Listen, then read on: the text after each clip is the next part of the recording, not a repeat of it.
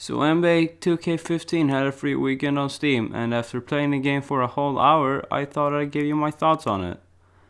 NBA 2K15 is a game in which you own people who are contractually obligated to work for you. You can trade these people for other people. Some people are worth more than others. But NBA 2K15 is not just about human trafficking, you can also play basketball as your favorite NBA players.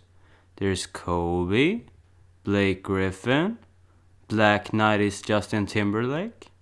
You can also take pictures of yourself and then put them in the game and have yourself be in the game, only not fat. I use this feature and I'd say it's great. Finally, my player looks identical to just how I look in real life.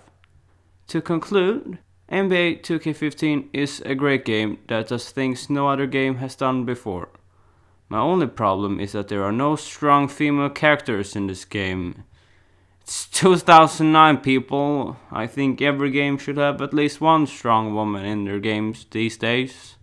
All women in this game are just dancing. And then there's fucking Doris. Who gives a shit about Doris?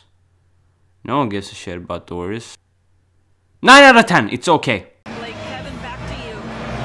This Clipper team loves to get out in the open floor, man. That's a frightening sight if you're trying to defend them, isn't it, Shaq? Yeah, first thing you have to do, Ernie, is stop the dribble. Can't let the bigs run down the middle without getting bumped.